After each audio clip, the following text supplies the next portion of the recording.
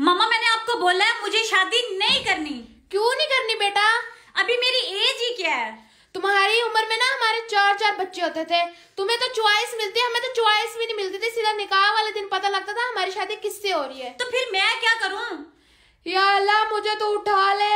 मेरी कोई नहीं सुनता मेरी ये भी नहीं सुनती मेरी वो भी नहीं सुनता। मैं क्या करूँ? मैं मर ही जाऊँ इससे अच्छा तो सही है। शादी। तो चलो फिर रेडी हो जाए तीन बजे तुम्हें लड़के वाले देखने आ रहे हैं। हाँ? अगर मैं ना कर देती तो? तो तुम्हारा बाप भी तुम्हारे लिए एक अच्छी सी स्क्रिप्ट तैयार करके बैठा है।